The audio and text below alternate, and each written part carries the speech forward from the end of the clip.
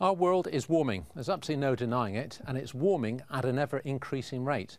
Taking the world records back to about 1880, these are the five warmest years ever recorded. And the most recent one, 2015, of course, but you only have to go back to 2005 to find the sort of fifth placed year. So this is a trend which is continuing, but it's also visible as you move in to country levels. Take the United States, for instance. Now here it has been a very mild winter, it's been a warm spring, and it's shaping up to be an exceptionally warm summer.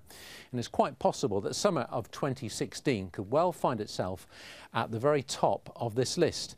And again, look at this list. It's recent years which are setting the records, going back to 1895. It's only the 1930s where we had the Dust Bowl in the west, which sort of broken up this sequence. So it'll be interesting to see what happens. But it's not just the contiguous United States, this area here but way up towards the 49th state, Alaska, we're seeing exceptional weather at the moment. In fact, I could widen this out to the whole of the Arctic Circle region where we've seen very warm conditions. We've seen temperatures uh, above freezing in the, at the North Pole, for instance. But on Wednesday, we had temperatures of 31 in Fairbanks, which may seem pretty warm, but almost more remarkable is a temperature very close to Prudhoe Bay, just inland, of 29 degrees Celsius. That's about 85 in Fahrenheit. Could you imagine stripping off into your bathing costume and sitting on the shores of the Arctic Sea? That's the Beaufort Sea up there, normally icebound for parts of the year, but the ice, of course, melting.